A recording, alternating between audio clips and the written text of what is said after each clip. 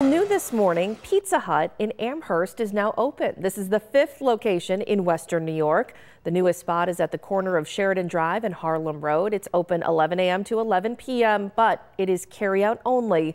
The next location planned to open will be on Transit Road in Lockport.